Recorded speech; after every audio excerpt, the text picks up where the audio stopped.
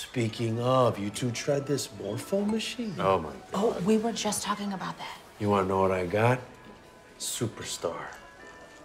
Oh. Is that spooky or what? I was legitimately spooked. Mm, That's spooky as That shit. is scary. I don't know if you two remember, but I was the first Italian American goalie in New York Rangers history and the youngest. Yeah, how would we not remember that? Yeah, it's printed right here on the menu. I was fing brimming with potential until I suffered a permanent injury to my catching hand while I was ah. deadlifting over 465 ah, pounds. Yeah, yeah, we know the story. How much were you lifting though? But if it wasn't for that, I guess I wouldn't have this place, Hey. which is also a lifelong dream. Yeah, so I guess as that spooky machine can attest, superstar can mean a lot of different things, Big D.